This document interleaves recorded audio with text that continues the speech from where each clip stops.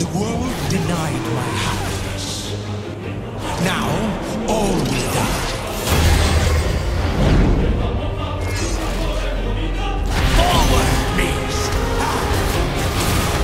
Wunder's getting more and more comfortable in this matchup. Dominance coming out. Jenax wants to turn it back.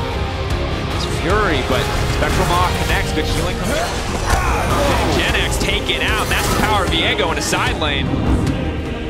Yes, they get the Infernal Soul, but if Rogue gets the Baron here, it'll be the fight in their favor. Now, the turn from Wunder, he's going to take the Blitzcrank. The Rocket Grab's going to go, and he hooks on Sama. The knockup is there.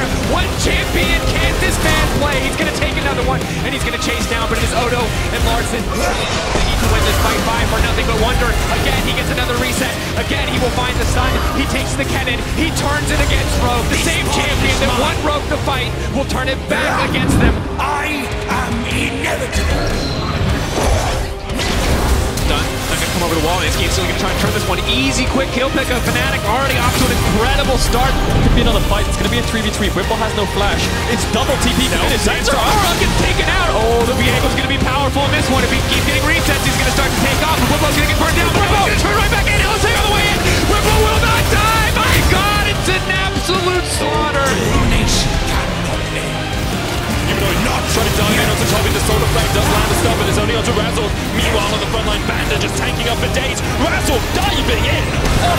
Of there because VTO is going to chase as well, but Razork is really dead. Kobbe in a 1v3, he's going to lose that one as well. Now the counter TP comes in, it's Hewitt. Tries to have the stun. Hewitt locked up.